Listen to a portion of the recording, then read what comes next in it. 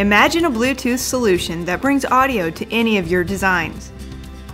The Texas Instruments Bluetooth reference design can be used to create a variety of applications for low power audio solutions where you are streaming any audio content from a phone or tablet.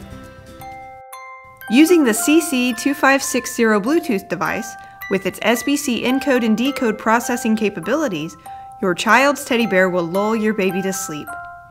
The design controlled by the low-cost and low-power MSP430 F5229 device can be used in applications like a child's music box, which allows her to choose music and entertain herself as she plays.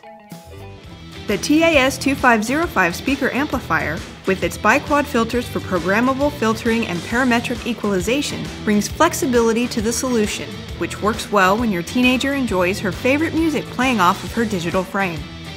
This flexible solution has a royalty-free software stack and profiles, and because the audio processing occurs on the TI SimpleLink CC2560 Bluetooth device, you can now create audio solutions with TI's low-cost, low-power MSP430 microcontroller.